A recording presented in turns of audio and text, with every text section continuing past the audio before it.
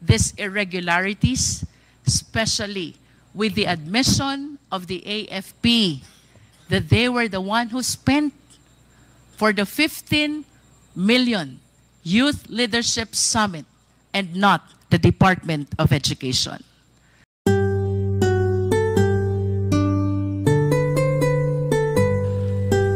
Major General Nolasco A. Mempin. Good afternoon, sir. Uh, good afternoon, ma'am. Your Honor. You are the former Undersecretary for Administration of the Department of Education. That was during the stint of former Secretary, Vice President Sara Duterte. Do you confirm?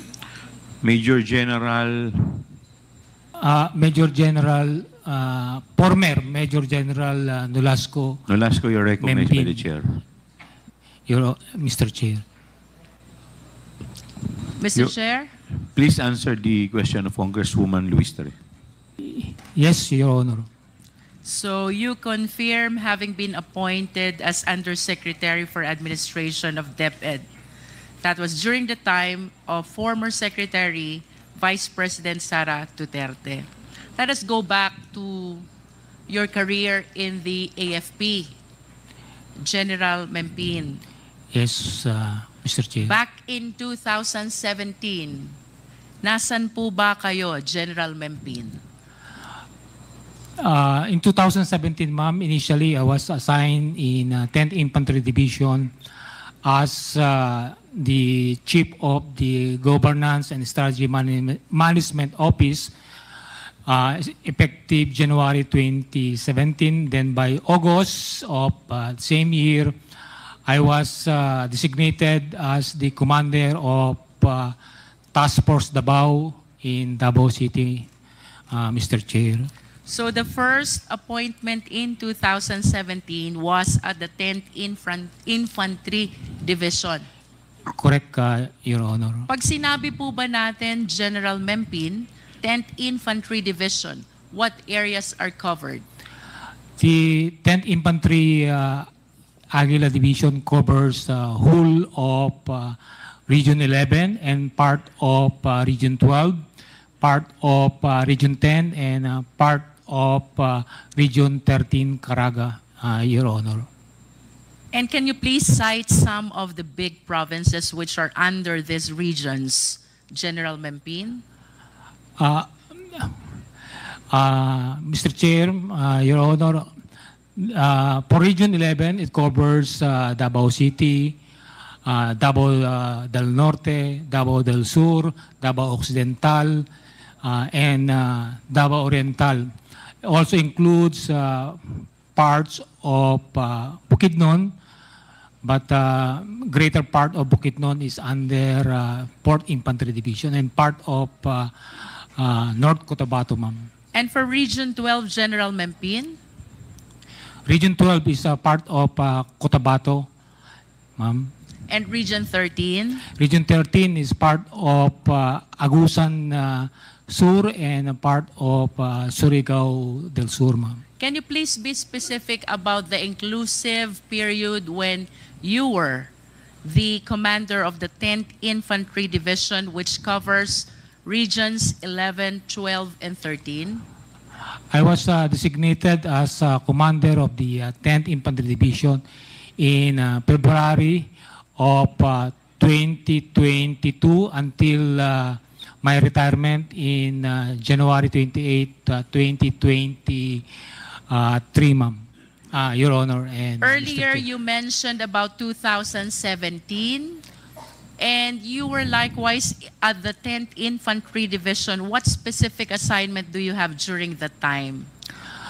Uh, from 2017, ma'am, uh, uh, I was assigned as the commander of Task Force uh, Davao uh, in charge of uh, covering, uh, actually it only covers uh, the downtown Davao, uh, in charge of uh, the anti-terrorism uh, unit of the armed forces because of the uh, series of bombing, be- because uh, Task Force Davao was established in 2003. Then uh, after that, in 2019, I was, uh, after my stint uh, at the Task Force Davao, I was designated as the commander of the uh, uh, 1003rd Infantry Brigade, covering uh, uh, parts of uh, Davao region, Davao del no- specifically Davao del Norte, uh, parts of uh, Davao Oriental, parts of the, the northern or the mountainous area of Davao City, and then uh, some parts of uh, Bukidnon and some parts of uh, North Cotabato, ma'am. So would it be correct to say 2017, General Mempin, you were heading the task force Davao, primarily in charge with Davao City and the major parts of the Davao region. Do you confirm that? Uh, ma'am, for clarification, uh, Mr. Chair, during my stint as Task Force Davao, it only covers uh, the downtown because uh, Davao City is divided into three areas. The, uh, it has uh, the downtown, midtown, and the uptown. The midtown is the the downtown is the uh, central district. Then uh, midtown and uh, up uh, uptown are um, those areas. Uh, So which part are you in charge with? For uh, 2017, ma'am, uh, 2017 until uh, Midtown? 2019 in uh, Uptown or downtown, downtown? downtown during task You are in charge of downtown in 2017 Until as the head of Task Task, Force Force. Davao. correct, ma'am. And then uh, sometime in 2019, you became in charge of the 10th Infantry Brigade covering most parts of the Davao region. Not yet, ma'am. Uh, uh, si- to, to, 2019, I was designated as the brigade commander. Uh, brigade commander is under the 10th Infantry Division still, uh, covering uh, Davao, some parts of Davao region, specifically Davao del Norte, Davao Oriental, and uh, ah, not Davao Oriental, Davao del Norte. Yes, General, you have City. stated that Yes, already. And then for 2022, this is the time that you were in charge of the 10th Infantry Division covering the regions 11, 12, and 13. That's correct, uh, Your Honor, Mr. Chair. And of course, I just wish to manifest that during this time, 2017 to 2022, the president was former President Rodrigo Roa Duterte. Uh, yes, that's correct, uh, Your Honor, Mr. Chair. And for Davao City, the mayor during that time was our Vice President, Sara Duterte. That's correct, Your Honor, Mr. Chair. And considering that you are taking care of the regions, the provinces, and the city, which are considered the hometown of the president, may I know, was there any marching order coming from the president having assigned to those places? None, actually, because uh, as member of the armed forces, our main objective is to ensure, uh, to protect the people and uh, secure the uh, uh, territory for, uh, for our sovereignty. So uh, basically for the Army or the 10th Infantry Aguila Division, our uh, focus is on uh, insurgency uh, problem.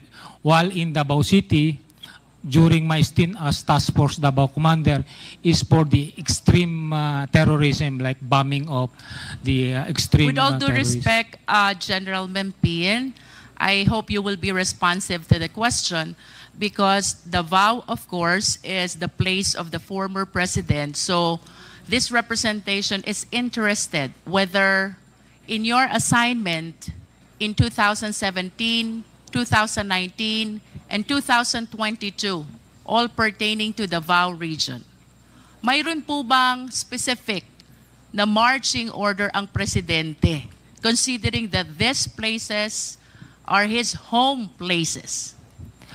Uh, I have not uh, received any specific instructions, but uh, as Thank you, General Mempin. I think you have answered the question thank- already. Thank you, Your How Mr. about any marching order from the Vice President during your stint as Task Force Davao head? uh, the only instruction that I received during our uh, assumption or during my assumption as uh, Task Force Davao Commander is to have zero bombing incident because he said if there's a bombing incident in Davao City, then you failed your uh, mission as uh, Commander of Task Force Davao. So zero bombing, that's the specific instructions of former uh, Mayor uh, Sara Duterte. Your I wish to remind you of the article which was published in Sunstar. Ang sabi po ng ating Vice Presidente noon ay City Mayor, kayo po ang head ng Task Force Davao. Don't sleep, don't breathe, don't embarrass me. Do you confirm that? Uh, that's correct. I still have the newspaper on that, ma'am. Now, please enlighten us, walk us through. During the time that you were assigned in Davao City and the rest of the other areas of Davao region, how will you describe the peace and order situation in Davao?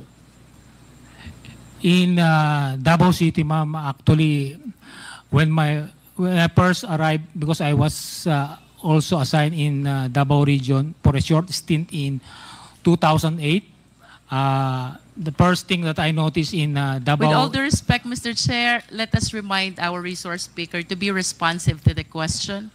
We are asking General Mempin about the status of Davao with respect to the peace and order situation during your time as the head of Task Force Davao. I think that is 2017 until 2019. Uh, for uh, the Davao, downtown Davao, ma'am, oh, it is uh, very peaceful, but uh, still the threat of uh, terrorism uh, is there. So the existence of Task Force Davao is still In the scale of 1 to 10, 1 being the lowest and 10 being the highest, how peaceful is Davao? uh, 10, ma'am, because uh, up to now, no 10. incident of terrorism. So that confirms the description of Colonel Garma in one of our hearings that Davao is one of the most livable city in the Philippines. You agree with that? Uh, yes, uh, Your Honor, Mr. Chair. And of course, you're one of the reasons why you are able to maintain or you were able to maintain such level of peace and order in Davao City because you were the one in charge, the partner of the LGU. May we ask General Mempin, ano po ba ang mga programang ginawa ninyo sa Davao City to be able to achieve the level 10, the highest score in terms of peace and order that you just gave to Davao City? to be candid about it, ma'am, actually, we, I just uh, continue uh, what my uh, predecessors have done because when I assumed in 2017, General Mempin, kindly focus on the programs. Ano po yung programs na inyong in-implement? uh, number one, ma'am, is uh, continued uh, collaboration with uh, various stakeholders, particularly with the uh, Muslim uh, communities in Davao City to ensure that there will no slippage of uh, probable or would-be uh, bombing incident in Davao City, ma'am. Any other programs, General Mempin? Of course, uh, co- continue uh, information uh, awareness to all the uh, residents or not only residents but uh, people visiting Davao because right now we, we the, the term right now is culture of security where uh, security is everybody's concern and not only of the uh, security units like the R- AAP and the uh, Philippine National Police, ma'am. I assume, General Mempin, that you were able to implement a lot of programs for you to be able to achieve that level 10 peace and order situation. So aside from the collaboration with Muslim communities and the information awareness dissemination, can you please cite more programs which you recall were very significant in your achievement of the level 10 peace and order in Davao City? Uh, yes, ma'am. Number one is uh, uh, collaboration, information awareness, then uh, continued uh, uh, meetings with uh, or uh, e- exchange of uh, information with uh, intelligence uh, units or uh, security units in Davao. Uh, continued uh, collaboration with the business business sector because uh, they are uh, the one uh, who needs to be convinced that Davao is safe for the investment to stay in Davao or in- increase uh, of it. Then, uh, of course, uh, continued uh, presence because uh, actually the word uh, do not sleep, we continue patrols in Davao City, mobile, fixed checkpoint in Davao Airport, and even uh, business establishment uh, when there are major uh, engagement. Task Force Davao is uh, always present.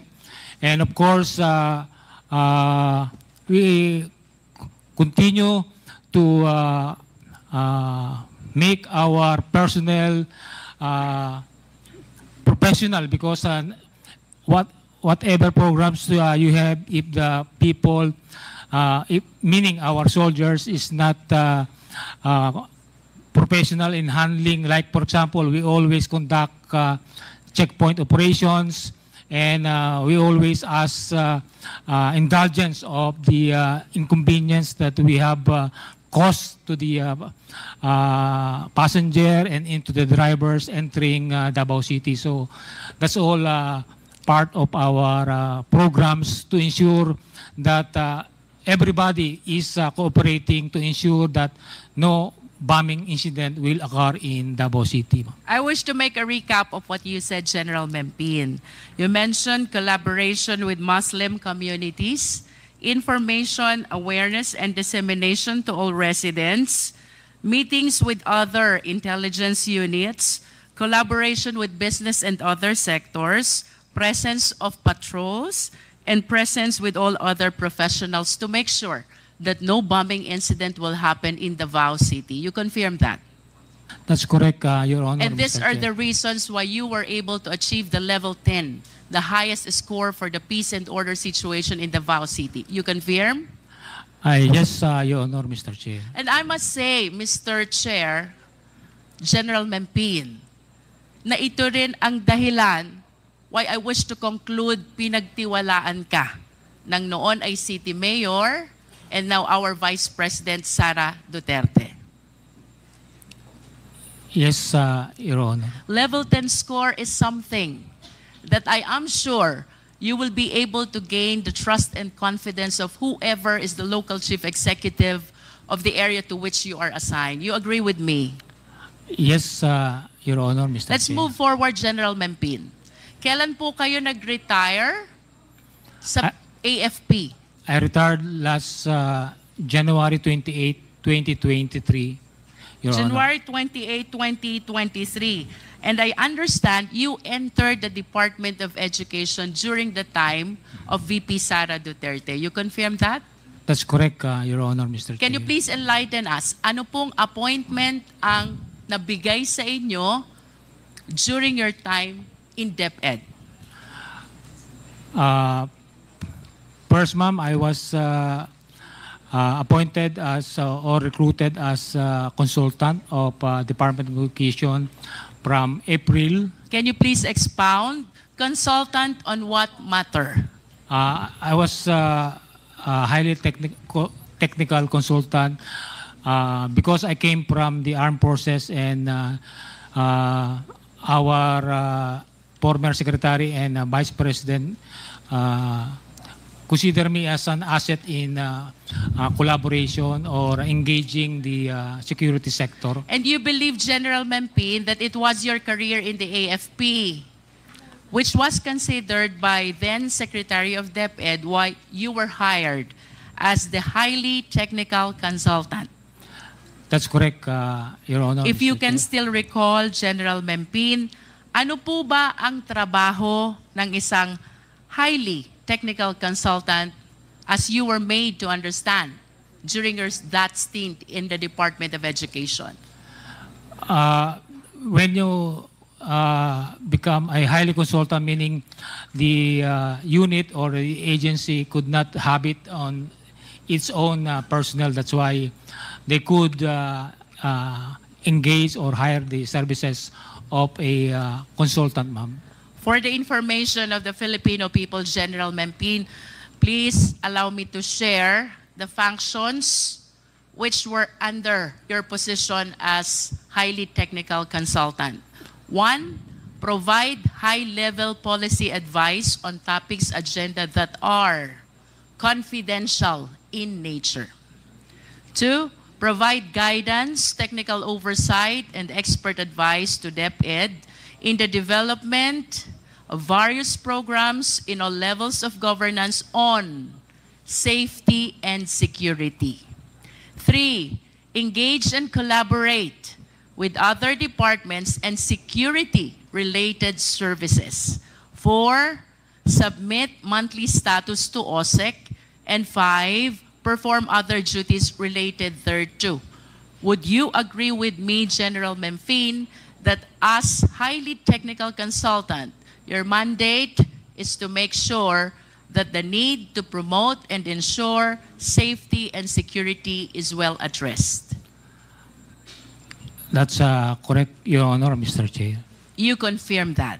Yes, And having confirmed that,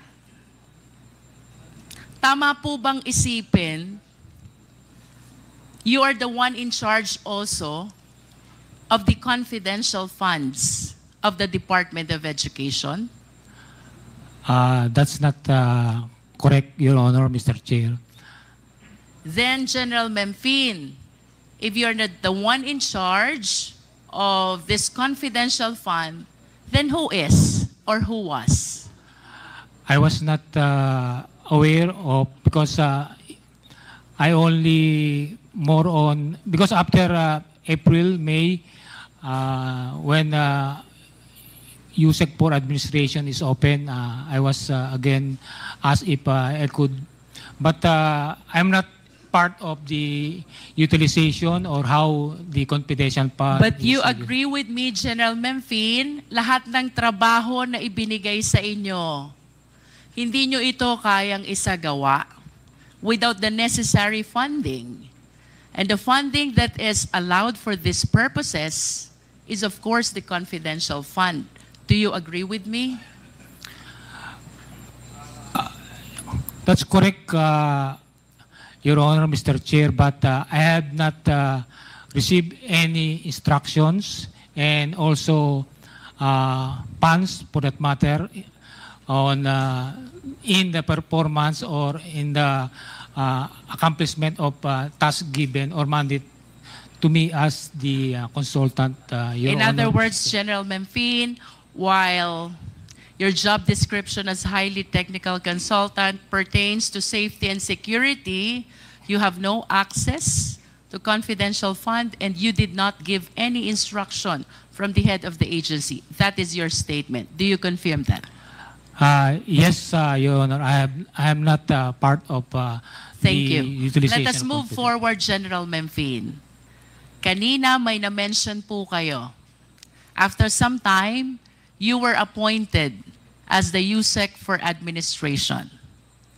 Did you apply for this position? Uh, no, ma'am. I was uh, recruited by the former Secretary and Vice President. of- Balikan ko po yung highly technical consultant. Of course, you expressed your desire because a notice of award was given to you to be the highly technical consultant. Aside from you, General Memphine, meron pa po bang iba na nag-express ng desire to be engaged as the highly technical consultant? Uh, I'm not uh, particularly aware of uh, other consultant that express their willingness, but uh, I do believe there are uh, other uh, consultant that uh, the Office of the Secretary has uh, tapped. I on. How about with respect to your appointment as USEC for administration? You said you were chosen. You confirm that? Uh, I was uh, recruited, yes, ma'am. You were recruited. Who recruited you to become the Undersecretary for Administration? the former Secretary and Vice President uh, Sara, Your Honor, Mr. Chair. And would you know why? Bakit ikaw ang napusuan na bigyan at pagkalooban nitong pagiging Undersecretary for Administration ng Department of Education? As to the uh, reason, the actual reason behind it, I was not aware, but uh, I can surmise the trust and confidence that uh, she has on me. That na is maybe correct. the, the reason, ma'am. The trust and confidence that you were able to establish as head of Task Force Davao in 2017 and being the the one in charge of the 10th Infantry Division in regions 11, 12, and 13 were very significant. Not only in your engagement as highly technical consultant, but in your appointment as well as Undersecretary for Administration of DepEd. We agree on that, General Memvin. Yes, uh, Your Honor, Mr. Chair. As a matter of fact, to illustrate how the former secretary trusted you, may I ask, are you aware of Department Order Number 78, General Mempin? Yes, ma'am. What is Department Order Number 78? It's about uh, the uh, procurement, ma'am. With all due respect, dito po sa Department Number 78, ibinibigay po ang mandato na pamunuan ang Department Computerization Program Hmm? sa Program Director. You confirm this? Yes, I stand corrected, ma'am. Uh, about. In uh, other POC. words, since 2010, General Memphine, ang, ang Department Computerization Program ay pinamumunuan ng Program Director. Ito po ang nakasaad sa Department Order Number 78. But because the former Secretary trusted you so much on this position of being the Undersecretary for Administration, the DepEd issued DO number 16, series of 2023. Would you like to enlighten us kung ano po itong DO 16, series of 2023? Actually, it's the revision of uh, the Department Order, Order na, uh, 78, ma'am, Series 2010.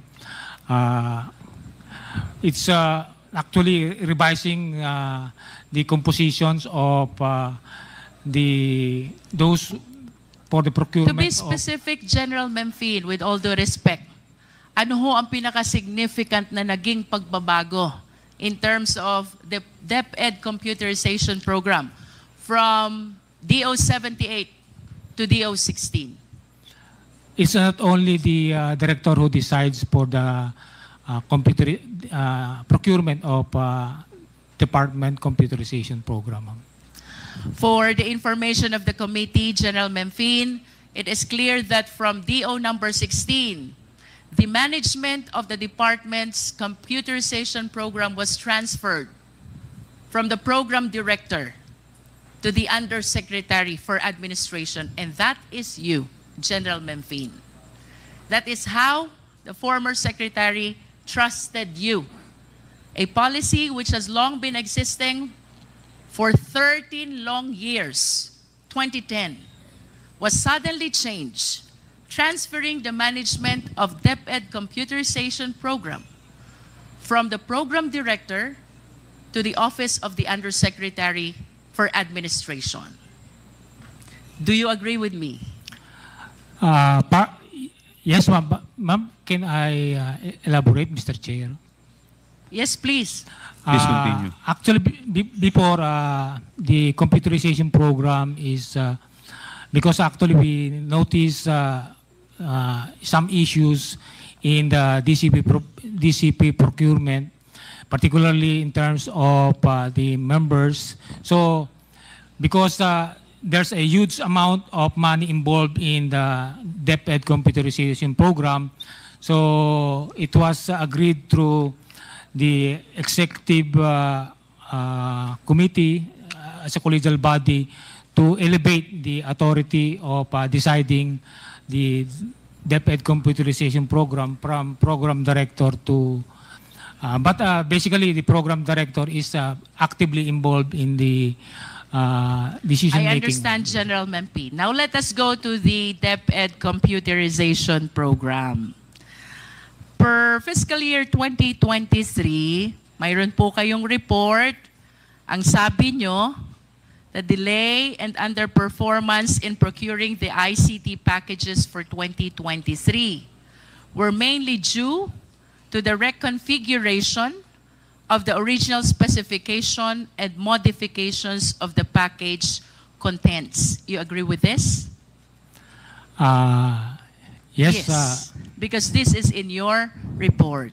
But I wish to ask General Mempin, how come in your physical target versus accomplishment, kindly show on the screen, ito pong fiscal year 2023, this is your time. As the one heading the DepEd computerization program, simultaneous with you being the Undersecretary for Administration. 0% po ang accomplishment ng DepEd computerization program. Can you please enlighten us on this? Act- Ah, actually, ma'am, ah, nandito po yung ah, director ng ah, ICTS but ah, to to give you insight on ah, the performance because ma'am, ah, when we arrived in DepEd 2023, actually it's still the 2022 ah, DCP programs uh, being processed because of the delay during the 2022 because of the change of uh, the uh, administration. So actually, ma'am, uh, late uh, uh, 2023 na po na process completely yung May we uh, know why, DCP. General Memphine? Of course, we understand from the records na yung 2023 budget, hindi nyo po na utilize and that is the reason kung bakit naka 0% ang accomplishment rate. May we know the reason why? Uh, because of uh, the partly of uh, the procurement process because uh, it has to go to the uh, bids and awards committee and uh, the members of the bids and awards committee is uh, still uh, pull uh, in, hands in pull in terms of the uh, DCP But of course, you 2020. realize, General Memphine, the value of this DepEd computerization program with respect to the learning of the students who are supposedly relying on this. Tama po ba? That's uh, correct, Your Honor, Mr. And to Chair. complete the picture, General Memphine, I wish to share to the committee, mayroon po kayong na-procure 44,638 ICT packages and DepEd packages sa taong 2022 and 2023. Ngunit ayon sa annual audit report ng COA, ang na-deliver nyo lang is 16,580. This is not even one half of what is supposed to be delivered. So to make it clear, General Memphine, na kapag procure po kayo ng 44,638 ICT packages, but per report of COA, ang delivered pa lang is 16,580 equivalent to 37% of the supposed accomplishment. Can you please explain this? Uh, Ma'am, uh, Your Honor, uh, Mr. Chair, uh, if I uh, may uh, request the uh, uh, Director of uh, ICTS because uh, uh, I, I was not already out of uh, uh, DepEd since uh, July, so I'm not aware of the updates in terms of uh, deliveries with regards so that uh, maybe General we could Memphine, have with a all due good picture. respect, the procurement happened in 2023. Yes, ma'am. Ibig sabihin, nabili na po ito. 44,638 ICT packages. You were still with DepEd. Yes, ma'am, but uh, only last July 2024. Tama Yes, po ba? From your perspective as Undersecretary for Administration and the one heading the DepEd computerization program, Ano po ba naging appreciation nyo dito? Anong naging dahilan? Why you were way below the supposed accomplishment when in fact, ang dami nyo naman palang nabili? Or, if I may rephrase the question, nasan po yung nawawalang ICT packages? Uh, Your Honor, Mr. Chair, uh, uh, po, during the 2023, uh, only the DCP 2222 DCP 2022 was processed, uh, procured, and only started uh, uh, delivering in late uh, 2023. And uh, actually, only In- the first in, three. In both dates that you mentioned, General Memphine, you're very much connected still with the Department of Education. Yes, yes, ma'am. Uh, so I'm explaining that uh, during the 2023, ma'am, the DCP 2022 is uh, uh, prioritized, so it's only being uh, deliberated or processed in the procurement. And late of uh, October, that's only there are only or there were only three lots of DCP which were uh, successfully bidded out, and uh, 13 General was processed in 20. If I may interrupt, let's simplify the question. The 44,638 ICT packages were procured during that time. Only 16,000 were delivered. Nasaan po yung iba? Ma'am, uh, because you the 13 the three lots supposedly delivered during December and early January of uh, 2024 uh, were uh, subject to uh, request for extension of some of the supplier which we were not uh, Mr. Chair, convinced. I lament that General Mempin cannot, could not give a clear and complete account of this 44,638. And I still have a lot of questions to raise. So may I just uh, request General Mempin to please submit a written accounting of this 44,638 ICT packages with respect to their current whereabouts. Simple lang po ang question, General Mempin. Nasaan yung 44,000 minus 16,000 na ICT packages? Moving forward, Mr. Chair. General Memphin, I wish to raise questions about the DepEd confidential funds. There is such an AOM number 2024-15. This is dated February 1, 2024. Out of the 150 million confidential funds that were given to DepEd, only three quarters were utilized. That is equivalent to 112.5 million. Are you aware of this, General Memphin? Uh, I, I just made aware during the uh, hearing about the uh, confidential fund because I was not uh, directly involved in the. Okay, but at least you can confirm that in the General Appropriation Act of 2023, DepEd has 150 million budget for confidential fund. You're aware of that. Uh, yes, ma'am, as member of the EXICO. And out of 150 million budget for confidential fund, only the first, the second, and the third quarter were utilized. That is equivalent to 112.5 million confidential fund. You're aware of that? I must. Uh, I was made aware of that, Your Honor, Mr. Chair. And sometime in February 2024, nag-issue po si COA ng Audit Observation Memo. Ang sabi po dito, there is such a 75 million no, uh, disallowance na na-justify po nila later on. And out of this 75 million, however, mayroong 15.54 million pertaining to rewards to informers na hindi pa rin po na-clear because of lack of the necessary supporting documents. Can you please enlighten us on this?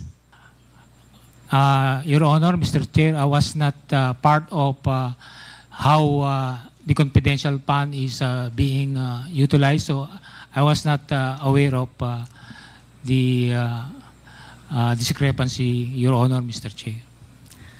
I understand. Nevertheless, General Memphine, having spent long years of career in the military, of course you are aware about what confidential fund is. Yes, uh, Your Honor, Mr. Chair. Can you please enlighten us? What do you understand about confidential fund? Uh, confidential funds are uh, funds uh, allocated uh, for the uh, a certain uh, units or organizations for uh, for its uh, security, uh, maybe and uh, other in the furtherance of uh, of its mandate, particularly those who cannot be uh, uh, gathered through uh, the regular means of uh, acquiring, for example, information. And how will you differentiate confidential fund from intelligence fund? Uh, uh, Your Honor, Mr. Chair, in my uh, opinion, uh, intelligence fund are uh, specifically uh, have uh, uh, program being, uh, although it's, it's not being elaborated, but uh, it has go to the programs of uh, organization, for example, the uh, law enforcement unit, the armed forces, and even the uh, LGUs. While confidential fund has more on uh, flexibility, but uh, as uh, we discussed, there is certain uh, protocol uh, SOPs being followed under the uh, JMC 2015-01, ma'am. To recap what you said, General Memphil, and please agree with me if I am correct, no? Both have a purpose of addressing the safety and security of the nation. Tama po ba? Yes, uh, Your Honor. However, confidential fund is given to civilian offices. Tama? Uh, yes, Your Honor. While intelligence fund is given to military offices. Tama po ba? Uh, military and other law enforcement uh, Yes. units, ma'am. In other words, they have the same purpose, confidential and intelligence fund. That is to take care of the national safety and security. However, magkaibang opisina ang gumagamit. Kapag confidential fund, it is given to civilian offices at kapag intelligence fund, military and like what you said, law enforcement offices. Tama, General Mempin? Yes, uh, Your Honor, Mr. Chair. But we have to share also that under Republic Act 7160, the local government code, the LGUs are given confidential fund as well. They're authorized to have and utilize confidential fund. You must be aware of this because for the longest period of time, nandun po kayo sa Davao, and I understand like any other LGUs, nag-utilize din sila ng kanilang confidential fund. You agree with me? Uh, I don't have the uh, exact uh, information, but uh, I do believe they have. Uh, they are do they are uh, using confidential funds in uh, uh, furtherance of their uh, uh, mandate uh, in respective uh, LGUs, ma'am. Remind lang po natin, Mr. Chair, because this was flashed already in the previous hearings. Ito po yung, should I say, escalation of confidential fund of the City of Davao starting from 2016, 144 million. 2017, you were already the head of the Task Force Davao, 294 million. And then 2010, nandun na po kayo sa 10th Infantry Division. They have 420 million confidential fund in Davao City. And then 20, no, that's 2018. And then 2019 to 2022, consistent na 460 million confidential fund. Napakalaki po nito, General Memphine. Puntahan ko po yung 2017. 294 million. You were the head of Task Force Davao. Pwede po bang malaman how you appreciate the utilization of the 294 million confidential fund? Uh, again, ma'am, uh, in my uh, to be candid about it, Mr. Uh, Your Honor, Mr. Chair, uh, I was not uh, aware of uh, how the confidential fund is being utilized or implemented, but uh, I'm wa- just wanted to report to the body that uh, the uh, LGU of Davao, even uh, before and after my term is uh, being supported in terms of uh, logistics, meaning uh, uh, our vehicles, the maintenance of vehicles are coming from the LGU. And uh, if there are major activities like uh, uh, gathering, like Kadayawan, Araw ng Davao, all the uh, security elements uh, involved in the securing uh, City and its uh, major events. Uh, the LGU is uh, providing support in terms of uh, meals and uh, uh, logistics, meaning uh, fuel to our uh, uh, vehicles, ma'am. In other words, Gerald Memphine, all the activities that you raised earlier, collaboration with the Muslim communities, information dissemination, meetings with other intelligence units, collaboration with different sectors, presence of patrols, and coordination with other professionals. These are the activities which were supported by that 294 million in 2017. Uh, I have no idea, but because uh, aside from Task Force Davao, there are also member of the uh, Joint Task But Force at Haribon. least, at least, those activities were part of the expenditures of the 294 million in 2017. Do you agree? I uh, I believe so, ma'am, but uh, I'm not uh, 100% sure. Thank you. Now let us go to AOM 2024-15. Ito po yung na-mention ko kanina, General Memphine, na merong disallowance na 75 million. Out of 75 million, the basis of the disallowance of 15.54 million is the lack of supporting documents for payment of rewards. Reward to informers. And in response to the AOM, nakatanggap po ang COA ng certification galing sa apat na AFP officers. One is Colonel Moransing, Two is Lieutenant Colonel Sangdaan. Three is Colonel Panopio. And four is Major General Bahaw. Mayroon pong pinapa-explain ang COA na 15 million. This is about payment of reward to informers. And then in response, nag-submit po ang DepEd ng apat na certification. General Memphine, can you please enlighten us? What are these certifications all about? Your Honor, Mr. Chair, uh, the uh, certification that uh, I was asked to uh, coordinate with uh, commanders on uh, in the area with regards to the uh, conduct of the Youth Leadership Summit are uh, present here.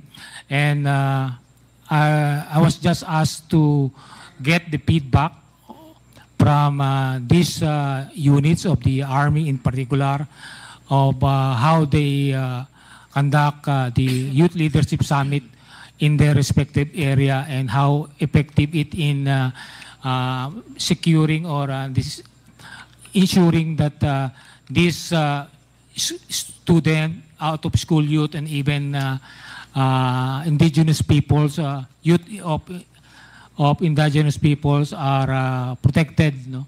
Because what that's one of the trust of also of uh, Department of Education that our youth be able to be a uh, productive citizens of our country. Thank you. Now let us go to Colonel Boransing.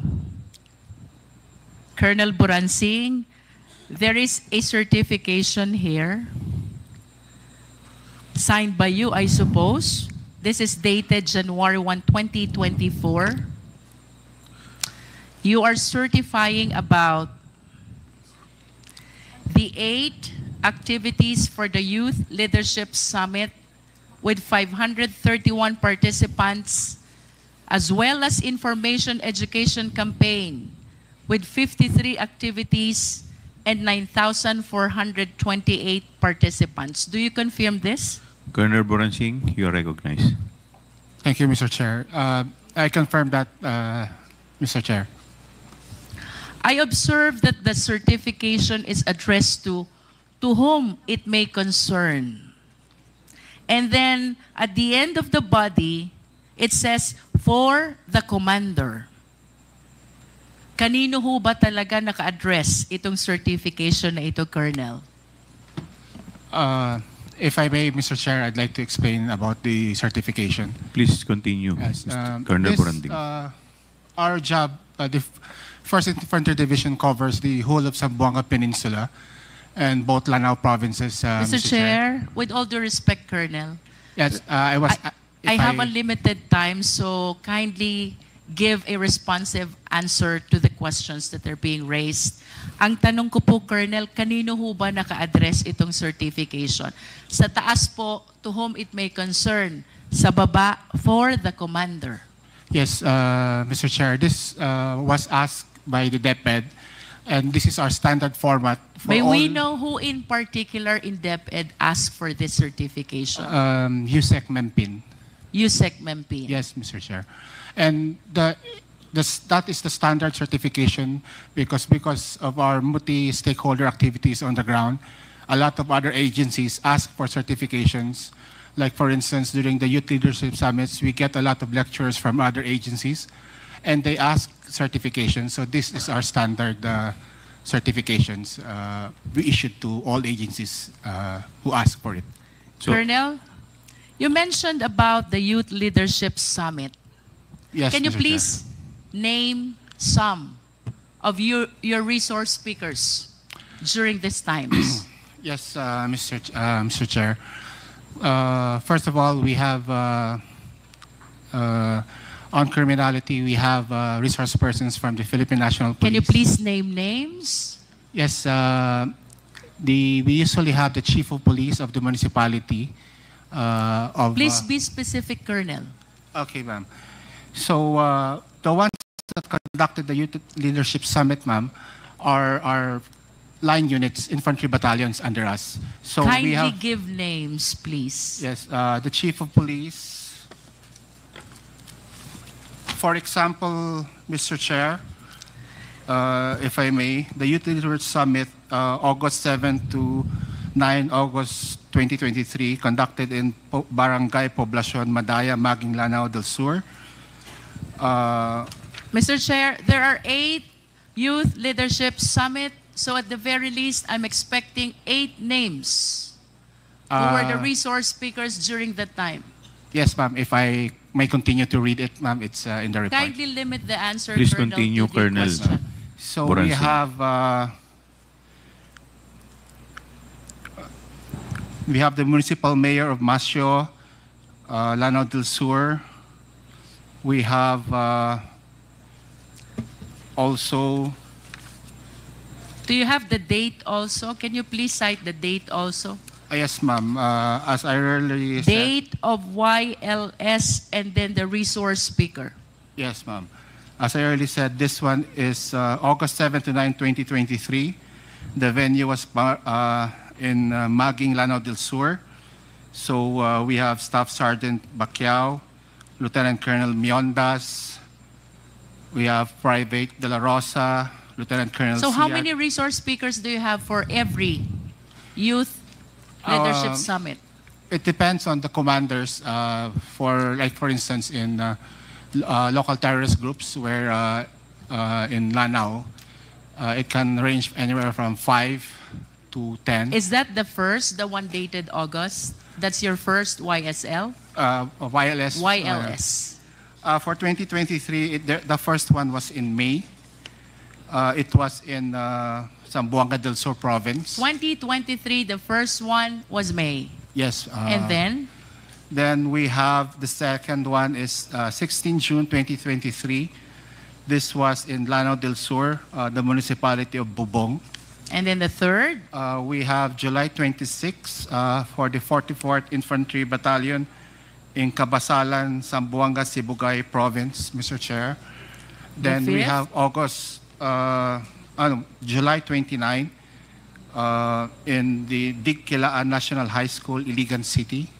sixth, Uh, then on September 29, we have in uh, Barangay Pugan, Concepcion, Misamis Occidental. Then uh, December 12, uh, December 12, we had in uh, Barangay D1, Dipolog City, Zamboanga del Norte.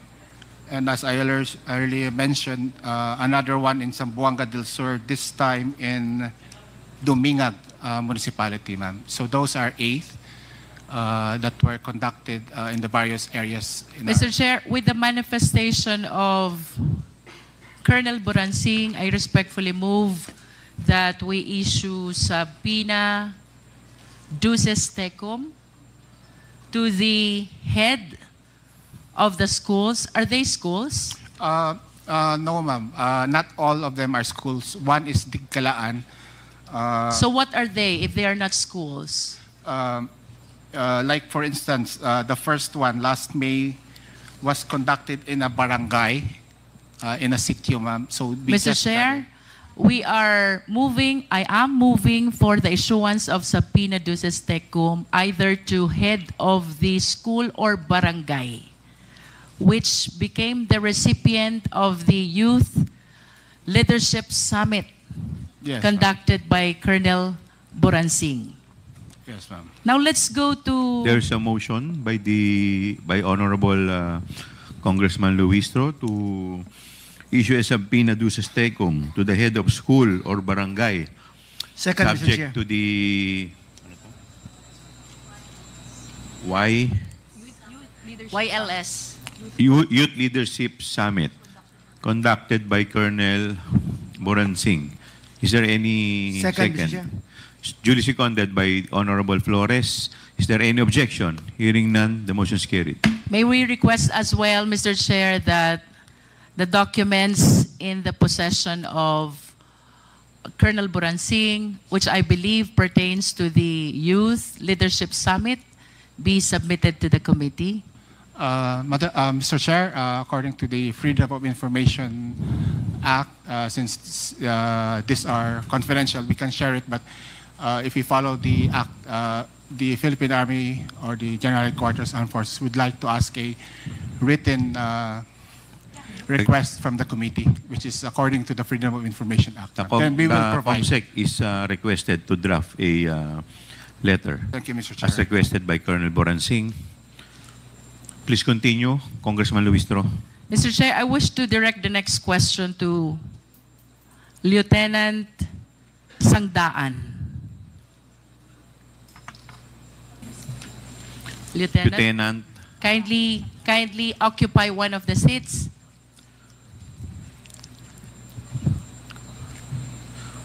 have you taken your oath, Lieutenant?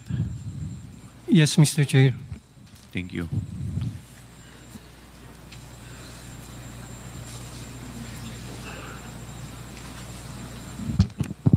Lieutenant Sangdaan, I have here a certification which bears your signature, I suppose. This is about the 22 activities for the Youth Leadership Summit and 49 activities for the Information Education Campaign. This was held in the provinces of Ilocos Norte and Ilocos Sur as well as La Union. Do you confirm this certification? Yes, Mr. Chair, Your Honor. And the certification, similar to the one issued by Colonel Buransing, is addressed to to whom it may concern on the upper part and then on the lower part for the commander. For the record, Lieutenant Colonel Sangdaan, kanino niyo Yes. po ba talaga ina-address itong certification? Lieutenant yes, ma'am, to the. DepEd, ma'am. And can you be particular? Sino po sa DepEd? Uh, ma'am, can I just give the background, ma'am? That was the instruction of I- my commander, and according to my commander, it was Major General Mempin who Okay, requested. you answered the question already. Yes, ma'am. And similar to the questions which I raised to Colonel Boransing, do Yes, you ma'am. have also some documents with you which can provide details about the recipient of this 22 Youth Leadership Summit? Ma'am, right now, ma'am, I don't have the documents because I am no longer with the 5th Infantry Division, ma'am. I'm al- already reassigned to GHQ. But Let- I assure you, ma'am, that You can there are produce. documents. In You can the 5th produce. Infantry. Yes, ma'am.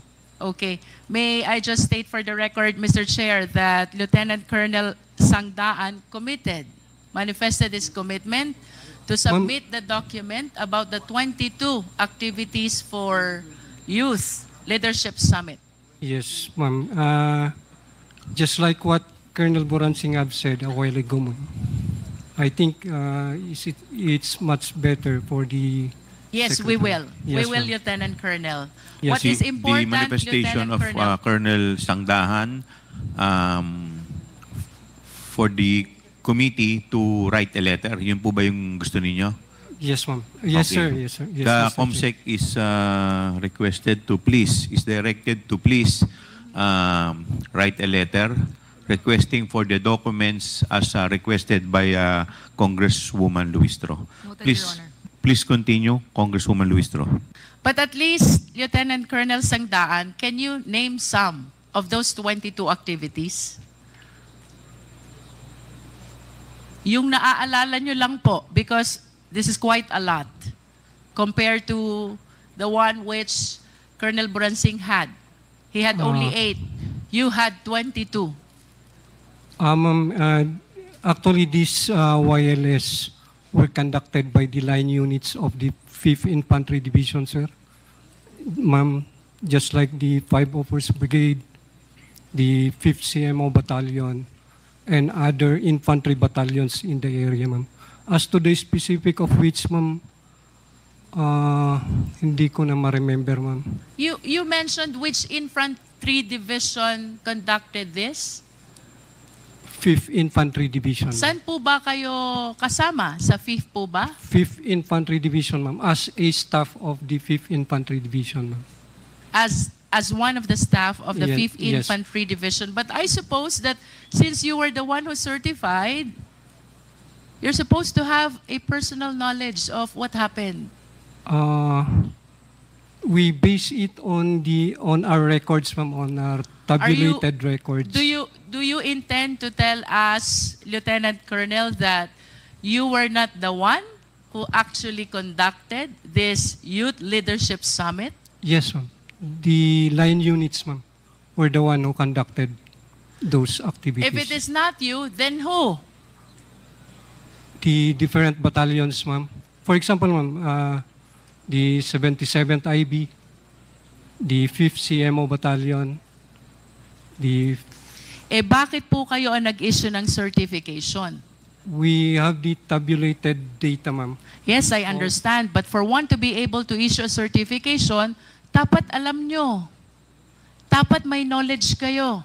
Yes, ma'am. As a matter of fact, this is an inquiry in aid of legislation. You were sworn in before we started the hearing, and this will elevate the status of being a sworn certification already. yes, ma'am. Eh bakit po kayo nag-issue ng certification kung wala kayong personal knowledge? Nag-certify kayo, may 22 Youth Leadership Summit, tapos hindi nyo po ito personally nalalaman. Is that what you wanted to say? We have personal knowledge, ma'am, because we have it in our data, ma'am. That the different line units, You are aware of the data only, oh, sir, that are but different. not of the occurrence. Magkaiba po yun. Ganon din, ma'am, sa occurrence, eh, ma'am. You are That aware of the occurrence as well. Yes, ma'am, that it was really conducted. Okay, balikan po ulit natin yung question ko. Name some of the youth leadership summit that you conducted, if you are aware of the occurrence? Uh, just like in San Mariano, Isabela, ma'am, we have conducted the uh, YLS there, Barangay po iyan, municipal, ma'am. municipal. Ang recipient po natin, sino? Sino pong audience nyo doon? Sino Ah. pong participants? The youth from the municipality of San Mariano, there were participants from the students in San Mariano, and even out of school youth. Okay. Any Yes, ma'am. other? Any other YLS that you can recall? Uh, as reported by line units, ma'am, also in Baguio City, You're basing your testimony, Lieutenant Colonel, on the report. Tama po ba? Yes, That's what you said. yes, ma'am. And this will only mean that you are not aware of the occurrence. If the statement that you're giving to us is based on the report and not on the personal knowledge of the occurrence, then you have no personal knowledge of how it happened. I'm aware, ma'am, that it You was are really aware of the conducted. data, you Yes, are aware that it happened, but you were not personally there. Yes, yes. You did not participate. Yes, ma'am. We only provided uh, some speakers as requested by the concerned unit. How about this 22 that you mentioned in your certification? Ito ba na-attendan mo lahat? No, ma'am. Honestly, ma'am, no. Ilan out of 22 ang na-attendan mo, Lieutenant Colonel? I think only in San Mariano, ma'am. Only in San Ma'am, Mariano. can I give a background on... Kawa, may I just make a manifestation? How can you validate an accomplishment report with a certification? The signatory has no personal knowledge of what happened. Lieutenant Colonel was able to attend only one out of 22 Youth Leadership Summit. And this is okay with COA? I'm sorry, but I do not understand. Colonel Buransing, if I may call you again, yun pong walo, ilan ang na-attendan nyo doon? Colonel Boransing.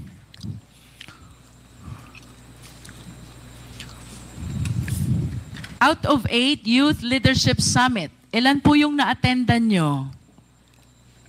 Colonel Boransing, you're recognized. Yes, uh, Mr. Chair. I was only able to attend one. So that means that you have no personal knowledge as well I have of all the eight Youth Leadership Summit that happened. Uh, I have personal knowledge of this, ma'am. Uh, Mr. Chair, if I may explain lang po, uh, the structure of uh, our, my position is I'm the G7 of the Infantry Division. So the Infantry Division has three infantry brigades. Uh, they control uh, three, uh, one has four provinces, the other has uh, one province, and the other brigade has uh, one province. So I am in charge of supervising. Uh, I am the Civil Military Operations Officer, Mr. Chair. So I closely monitor, we all closely monitor the program of the Youth Leadership Summit uh, to ensure that uh, it uh, to ensure that it's, multi-stakeholder and it fits the objectives of the program. So we have personal knowledge. Uh, we can't go around in each barangay, but uh, they have uh, since we used budget from the Philippine Army. We have after activity reports, uh, fund utilization reports, pictures, and documentations. And uh, uh, we have to ensure this because uh, we have a yearly inspection from higher headquarters. So we may not have been there, but uh, we have uh, personal knowledge. We are the program managers of this. Po. You mentioned a while ago, Colonel Buransing, Yes. you were using the fund of the Philippine Army. Uh, You confirm that? Yes, um, Mr. Are you Chair- sure? Sir. Yes, Mr. Chair. For the eight YLS Yes, uh, that Mr. were Chair. conducted, you used the fund of the Philippine Army. For our participants, we used our uh, the Philippine Army. The for the students, uh, they used the local government unit funds, uh, Mr. Chair. Okay, that is clear. Mr. Chair, I just wish to manifest the statement of Colonel Boransing that during the Youth Leadership Summit, for the military, they are using their military fund, and for the children or the youth, they are using the LGU fund. Uh, to- Mr. Chair, uh, if I may. Please continue. Yes. Uh, they use uh, since uh, they use the some use the provincial local government funds, and the municipalities. Uh, some delegates also are using the uh, the uh, municipal LGU funds. And for the participants from the other stakeholders, from DepEd, from BIDEA, from the police, of course, they use their uh, own uh, uh, funds. Uh, so it's really a multi-stakeholder. In other words. Mr. Chair, a lot of offices and agencies are using their respective funds for intelligence in conducting the Youth Leadership Summit. This is your statement, Um, Colonel Buransing. Um, I didn't say uh, uh, intelligence funds, ma'am. Uh, what I said was, uh, like for instance, for their billeting for the hotel, they have to pay from their own agency funds. For their food, they have to pay po, What is clear, there are different offices uh, involved. who shoulder their respective expenses Yes, Mr. for the purpose of Youth Leadership Summit. Yes, Tama? Mr. Chair, yes. In other words, it is not only the DepEd Yes, Mr. Chair. who spends its confidential fund. Uh, I'm not, I have no knowledge of what their source of funding is. But in as far as you are concerned, kanya-kanyang gastos ang KKB. iba't ibang opisina. Uh, KKP po, And for the children, the youth, you said it is being shouldered by the LGU. Tama? Yes, Mr. Chair. Thank you, Colonel. May we request Lieutenant Colonel Panopio? Colonel Panopio, you are recognized. Good afternoon, Mr. Chairman, Your Honor. Colonel, I have with me another certification bearing the signature of Magtanggol Panopio. Is this your signature? Yes, Your Honor, Mr. Chairman. On this certification, you certified 205 youth students from different schools. Three youth leadership summits held in the provinces of Bulacan, Nueva Ecija, and Zambales. You confirm this? Yes, Mr. Chairman, Your Honor. And similar to my question to the to Colonel Buransing and the other Lieutenant Colonel, nakalagay po sa certification nyo to whom it may concern, to sa taas, sa baba, for the commander. Kanino po ba talaga naka-address itong certification nyo? This is addressed to DepEd, ma'am. May I explain for the commander, ma'am? And can you please kindly be particular, who in DepEd? Ang dami po nila sa DepEd.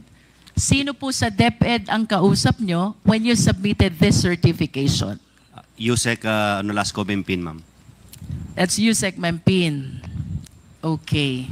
And can you please substantiate as well the three youth leadership summit that you conducted in your province?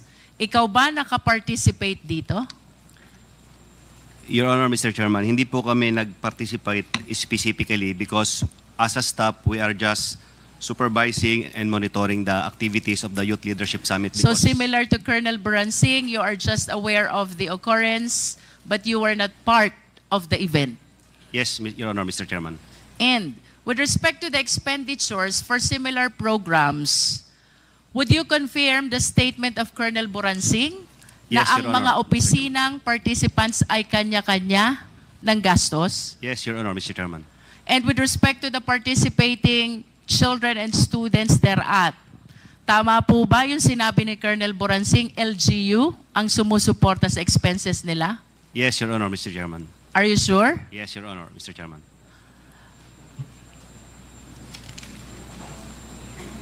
Can we recall Lieutenant Colonel Sangdaan? Yes, ma'am. Lieutenant Colonel, tanungin ko lang po yung pagdating sa expenditure. Do you confirm the statement of Colonel Boransing? Kanya-kanya ng gastos lahat ng opisina. Yes, ma'am. On, yes, ma'am. And with respect to the children and the youth, it is the LGU The who LG, support the expenses. yes, ma'am, through their POPs plan, ma'am. Thank you. Mr. Chair, I am done with uh, Lieutenant Colonel Panopio. I wish to proceed to Major Dome Dombrigue. Major Dombrigue. Major Dombriding, you are uh, recognized. Have you taken your oath, Major? Nakapag-take na po kayo ng oath. Okay po. Major, meron po kayo ditong ano, ah, submission prepared by you, certified by Lieutenant Colonel Panopio. This is about the Joint 7th Infantry Division DepEd Anti-Insurgency Campaign from January 1, 2023 to December 31, 2023. Do you confirm, Major, na ang sinertify niyo po dito ay 313 insurgency awareness and 9,000, no, and 166 posted social media products. Afternoon po. Uh, yes, ma'am, uh, Mr. Chair. Through uh, the that that uh, data was based on uh, the reports of our uh, line units. Ang kasama po dito, Brigada Eskwela, insurgency awareness, environmental protection, shared and posted social media products.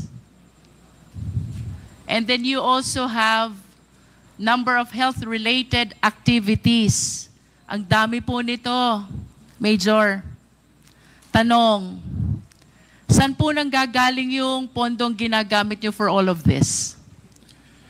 Ma'am, uh, most of that funds was uh, under the uh, PAPs on the APB of our line units. Ano po yung PAPS? Please enlighten us. Projects, activities, and programs po. And can you please tell us which agency is this?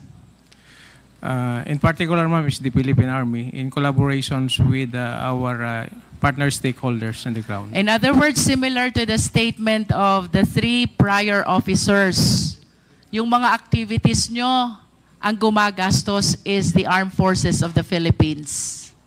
Tama po ba? Yes, ma'am, Your Honor. And as far as your counterpart is concerned, tama po? Opo. At paano nyo po ba ginagawa itong anti-insurgency awareness?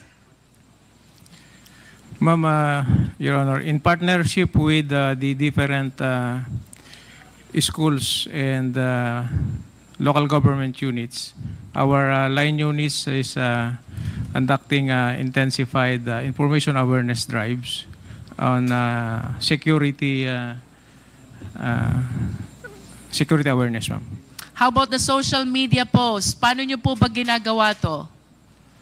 utilizing the social media platforms of our uh, infantry divisions and our line units, ma'am, we cross-post uh, social media media products of uh, the uh, AFP units and uh, to include, ma'am, the uh, uh, other agency uh, social media products. Rough estimate lang po, Major. Sa tingin nyo po itong mga reported activities nyo na to, total of 9,712, the activities I mentioned earlier. If you're aware, mga magkano po ang nagastos na pondo ng AFP dito? Ma'am, with that uh, figure, the number of uh, anti-insurgency flyers distributed, uh, a very minimal uh, expenses lang po dahil uh, uh, printed uh, flyers lang po ito dun sa- na with the bond paper po. You're saying our awareness minimal. drive. You're saying minimal. Minimal expense. You said that? Yes, ma'am. And it will no way reach 15 million. Tama? Hindi po, ma'am. Hindi. Hindi po. No way. No way. Thank you. Mr. Chair, gusto ko pong balikan si General Mempin. General Mempin, you are I'm about to recognized. wrap up, Mr. Chair. Yes, uh, Your Honor, Mr. Chair. General, kanina po sabi nyo, hindi nyo alam yung confidential fund. Yeah, You that's still correct. confirm that? That's correct, uh, Your Honor, Mr. But I Chair. hope you understand that the certifications which I confirm from the AFP officers, the four of them, pertains to the expenditure of 15 million taken from the confidential fund. And according to them, those certifications were required by you. Uh, Your Honor, Mr. Chair, actually I was uh, asked by the officer of the secretary to ask for certification coming from these uh, uh, units. But uh, it is uh, clear uh, to them or even to me that uh, no funds are uh, involved, meaning no funds uh, released to these uh, units. What uh, the Office of the Secretary is wanted to know is the product or uh, the result of uh, the collaboration of various uh, stakeholders, including DepEd, with regards to our uh, youth. So it is clear, ma'am, that uh, DepEd has not released any single centavo to the conduct of wireless to the uh, uh, units uh, mentioned, ma'am, Your Honor, and uh, Mr. Chair. If you are saying General Mempin, na walang nirelease na pondo ang DepEd dito po sa Youth Leadership Summits, saan po ginastos yung 15 million? Uh, that's Your Honor, Mr. Chair. That was uh, I was not uh, aware of it because uh, my the task given to me is just to coordinate because uh, to be candid about it, the commanders of uh, Colonel Buransing, uh, Colonel Panopio, and uh, Lieutenant Colonel Sangdaan are my former uh, colleagues or classmates in the uh, Philippine Military Academy. Mr. Chair, I wish to ask the COA, Attorney Camora, tama ba ang understanding ko? Sa AOM, may disallowance na 75 million. Out of 75 million, you are asking for supporting documents of the 15 million which were paid as rewards to informers. Attorney Camora, you are recognized. Uh, yes, Mr. Chair. And in response to that supporting documents, the DepEd submitted these certifications about the Youth Leadership Summit. Tama ba? uh, yes, Mr. Chair. In other words, these certifications submitted by the AFP officers are being used as justification for the 15 million utilization paid as reward to informers. Tama po ba? Uh, yes, Mr. Chair. General Mempin, your statement is completely contradictory to the stand and position of COA. Uh, Your Honor, Mr. Chair, as uh, I uh, previously mentioned, the only task given to me is to coordinate to my uh, colleagues in the active service of the uh, Philippine Army to have a uh, report on the conduct of uh, Youth Leadership Summit. But uh, as to the utilization or disbursement of uh, 15 million uh, payment to informers. I was not made aware of it, and uh, I have no knowledge that uh, uh, the, this uh, certification is for the payment of informers. Uh, Your Honor and uh, Mr. Chair. General Mempin, I understand we also have Major General Bahaw. You have a letter here, General Bahaw. This is about the nine youth leadership summits. Kanino nyo po ito in-address? Good morning, ma'am. Good morning, Mr. Chair. May I be recognized? Major General Bahaw, you're recognized. Thank you, Mr. Chair. Ma'am, I addressed the letter to Yusek Nolasco Mempin updating him of the YLS conducted in my division then. And uh, similar to the questions that were propounded to the three other AFP officers, kapag ho ba nagwa-YLS kayo, sinong gumagastos? Ma'am, ah, sari-sariling agency po na nagpa-participate dito ang gumagastos. Sa amin po, more on facilitation and security, kami po ang gumagastos sa sarili naming mga tropa. And with respect to the children and the youth who are the participants, do you confirm what they said already? LGU ang gumagastos? Yes, ma'am. At kanina po sinabi din ni General Memphis, balikan ko si General Memphis, sabi niyo po General, wala talagang gastos ang DepEd dito? Uh, to You be clear, because uh, as uh, I was asked if uh, the confidential uh, funds is used for the conduct of uh, wireless, so it's clear that uh, no funds is uh, downloaded or given to the Philippine Army for the use of uh, uh, the conduct of uh, wireless, but uh, if uh, uh, confidential fund is uh, given General, to informers that, that of is tantamount to saying na walang gastos ang DepEd sa inyo.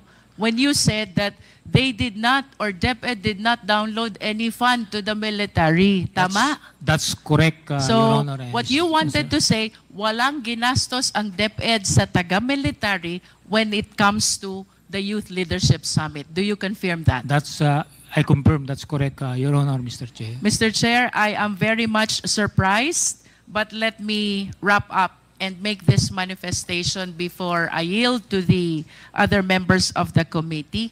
While, while we believe that these certifications were submitted to justify the 15 million that were allegedly paid to as reward to informers, now all the officers from the AFP that includes General Memphis, the USEC for Administration, are stating that the DepEd did not utilize any of its confidential fund in support of the Youth Leadership Summit. These statements, Mr. Chair, are completely contradictory to what DepEd has made the COA believe in the submission of all these certifications. Mr. Chair, to proceed, let us all be reminded, ito pong confidential fund na ito, pera ng taong bayan. We all of us are accountable to the Filipino citizens. Public office is a public trust. We should be accountable to the people at all times. And I do not understand why these people who are supposed to explain the 15 million is totally unaware of the same because they are saying that they never use the DepEd fund and what they use is the fund of the AFP. While we understand, Mr. Chair, that confidential fund by its nature is not encouraged to be scrutinized, there is nothing under the law that prohibits the same as well. There are important observations, Mr. Chair.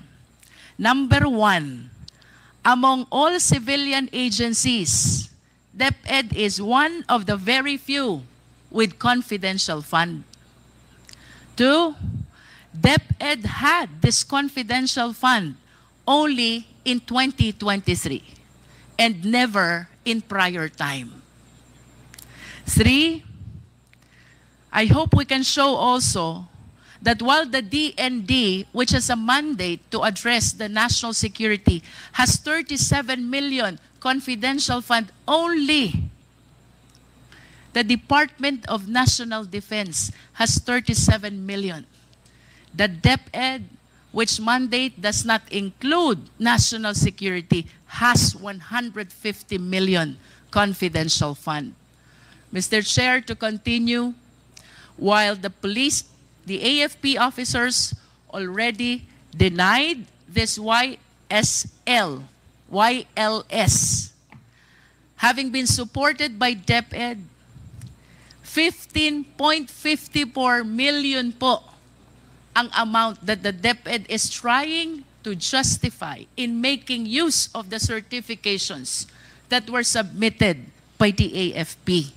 Number five, Mr. Chair, prior to 2016, pag ang pinag-usapan po natin ay Youth Leadership Summit, it is the AFP who leads and they just coordinate with DepEd. But on the report that was given by COA, it seems to appear that the one leading the Youth Leadership Summit is the DepEd in coordination with AFP. Paligtad po ito. Number six, Mr. Chair, I do not want to preempt any conclusion. However, Mr. Chair, General Mempin spent 2017 to 2023 of his AFP career in the Davao City and the Davao region. During this time, the former president is the president and our vice president is the mayor. During those time, Mr. Chair, the Davao City, while it is authorized to have and to utilize confidential fund, I believe has one of the highest confidential fund among the LGUs in the entire country. I hope the Secretariat can produce the data. I wish to ask Mr. Chair, ito bang lahat ng ito ay coincidences? Given this observation, let us all be reminded that the leeway that is being given to confidential fund is to be able to address a very important concern, and that is national security of the country. No more, no less. The procurement and the liquidation were made liberal in recognition of the significance of the purpose of the confidential fund. However, Mr. Chair, if there are glaring indications of irregularity already, as those that we have mentioned, plus the admission of the AFP, is it not that COA should address its mandate of making sure that all receipts and all expenditures are duly accounted for the Filipino people? Question number one Since when has irregularity in confidential fund been happening? Two, what has COA done so far with respect to its accounting rules in order to address the irregularity? And three, will COA simply brush aside these irregularities, especially with the admission of the AFP that they were the one who spent for the 15 million Youth Leadership Summit and not the Department of Education. Let us remember, regardless of which office in the government we belong, public trust always carries accountability. To tone down the mood of our investigation, at para mas maintindihan po ako ng mga tao, mayroon hong prominent na line sa pelikulang Star Wars. Ang sabi, comes with great power is great responsibility. If you translate this to constitutional language, let us all be reminded, public office is a public trust. The trust that is given to us by the people carries with it due accountability. Thank you, Mr. Chair.